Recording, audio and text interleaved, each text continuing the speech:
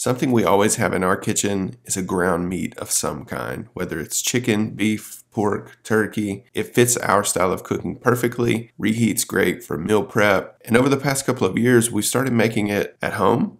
It's surprisingly easy to make, it's very cost effective, and it gives us complete control over what fat percentage we want and what goes into it or does not go into it. Like, do you actually know what's in your extra lean ground beef? Well, now you will. In this video, I'll show you what cuts of beef to buy, whether to use chicken breast or thighs or break down an entire chicken. And I'll show you three methods to do it, whether it's using a knife, a meat grinder, or a food processor. And by the end of this video, you'll be a ground proteins pro.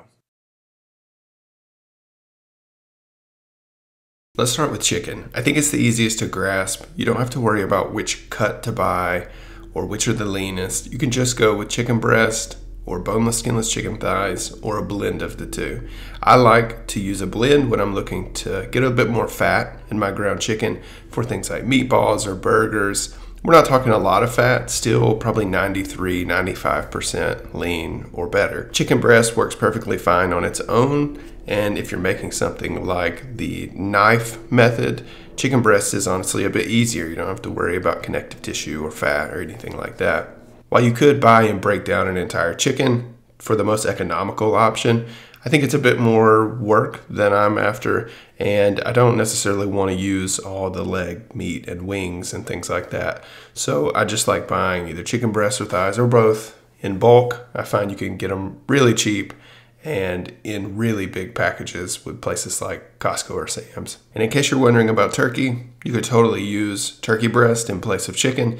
Treat it just like every other meat in this video and make your own ground turkey. Let's move on to the other white meat, which is actually red meat. Pork. Pork is another easy one because you can just go with pork loin or pork tenderloin. With your red meats, so you'll see this with pork and beef, you will want to trim some of the excess fat on the exterior and underneath that fat there might be a layer of silver skin. You'll see this kind of silver bluish hue tint and that's just not really going to break down in cooking. Even when you're grinding this into small pieces your ground pork or beef will be better if you remove that silver skin first. Helps to have like a sharp flexible knife here. Just be careful get as much off as possible. You can buy especially pork tenderloin you'll see where it's been trimmed pretty much entirely and is good to go straight out of the package. But you know for your most economical cuts you'll see things like this whole pork loin and just do a bit of trimming before you slice it. Grind it. Moving on to beef, this is where things get a bit more complicated. There are so many different cuts, and different butchers and grocers call different cuts different things. So, what do you look for when you're trying to make extra lean ground beef? There are four primary cuts you can look for. eye of round roast, top and bottom roast, and sirloin. If you see these words, you're probably looking at a leaner cut of beef. You will want to look for roasts or the big chunks of meat to make this the most budget friendly and economical choice. There are leaner cuts of steak, like flank steak for instance, that you'll probably just want to leave for making carne asada instead of going to the trouble to grinding it. You'll also want to pay attention to the grade of the beef. So select and choice cuts will have far less marbling and intramuscular fat than a grade like prime.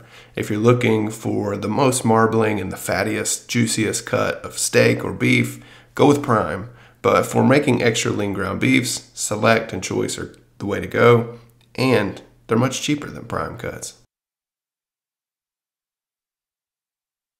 Let's kick things off with my preferred method, and that's a meat grinder. I'll be honest, when I first purchased a meat grinder, I wasn't sure the investment would be worth it. You know, how often Am I really going to grind my own meat? How difficult is it to clean this thing? And I've been so impressed. Money well spent. This is the stainless steel KitchenAid attachment. So if you or the cook in your house has a stand mixer, I think you can get this for 100, 120 bucks, something like that. Of course, you can use a standalone meat grinder but this is the only meat grinder I have experience with, so it's the only one I can recommend. This is my preferred method because it just makes the most uniform ground meat. You can control with the little different rings the grind consistency or size. So if you want, you know, really thick grind, you can do that. Or if you want it really fine for something like sausages or even meatballs, whatever, you can do that as well. I uh, usually go somewhere right in the middle. It's really hard to beat this. It's super easy. You just cut your meat, whether you're using chicken, pork, beef, whatever, into chunks that can fit through the uh, meat feeder, whatever this the hole is called on the top. Just feed it through, push it down. Of course, keep your fingers away from any moving parts. And I mean, it is just so easy. Look at it.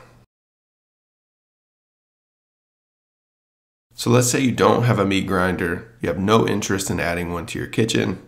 That's totally cool. My second favorite method is just using a knife. All you need to do is freeze your protein for about 30 minutes. You don't want it frozen rock solid, but freezing will make it firm enough to slice and really help you out there.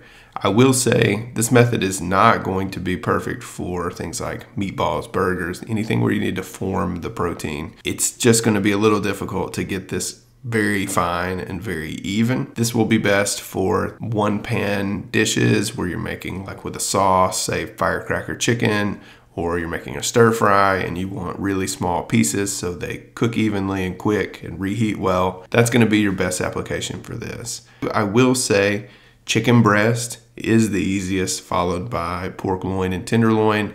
When you get into beef, and even chicken thighs to a certain degree, you kind of get some connective tissue and marbling and fat and some odd pieces where it's probably best to run that through the meat grinder or a food processor.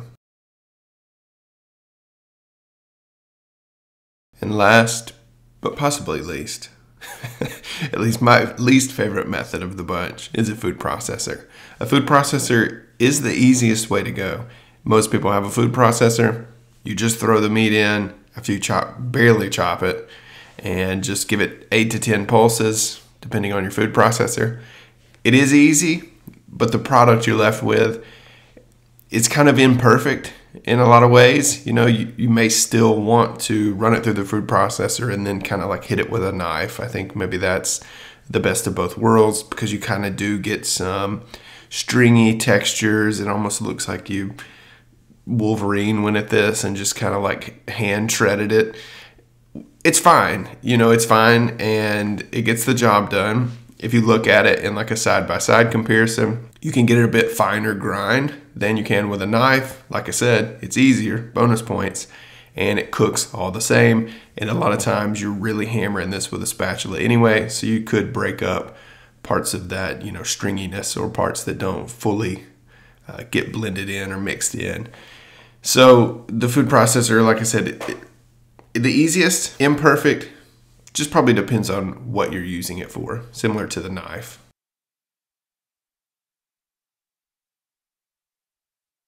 Okay, to wrap things up, let's talk about storage. If you're grinding your own meat, I highly recommend doing it in bulk, 5, 10 plus pounds at a time, just to maximize your effort and cleanup. If you're doing that, unless you have a massive family or a massive appetite, you're not going to eat it all.